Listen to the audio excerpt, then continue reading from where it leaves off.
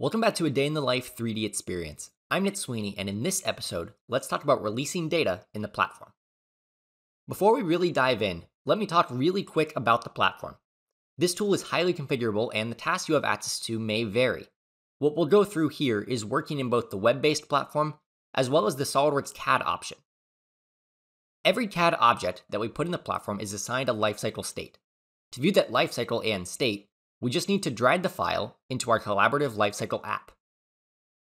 Now we don't have any files in here right now, but if I did, I can clear it out just by closing that file. Okay, so notice that we have a table with information about the file and a visual for what the lifecycle looks like.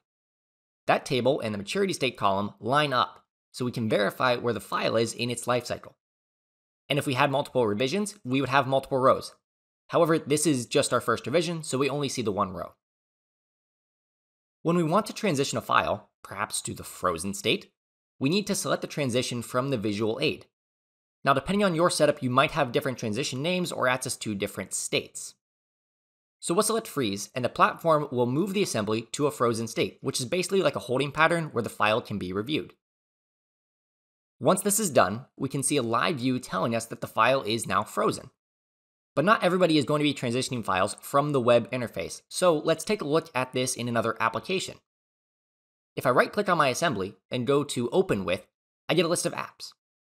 If the app you want isn't in the list, click on the More Apps and pick it from your list. Now we've got the assembly open in SOLIDWORKS. Our task pane on the right is our access to the platform. We can customize the columns to show what we want, but here I care about the component and the maturity state. I've reviewed the design and I'm ready to approve it. In the 3D Experience add-in, I have two ways to approve the file. I can either right-click on the file and click Maturity, or I can select the file and click the Maturity button at the bottom. Clicking this will pop open the maturity dialog that we saw earlier. We can look through the different states and make sure we have the right one. Now, one thing I want to make sure I do here is click Include Structural Components. What this does is it makes sure that when we approve the assembly, it also approves any children or subcomponents. We want everything to be approved together.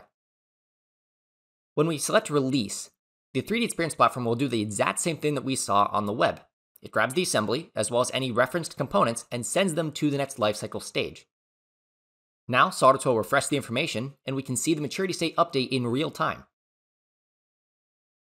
When we switch back to the web client, we look at the same assembly we had before, and now we notice that the maturity state is set to released.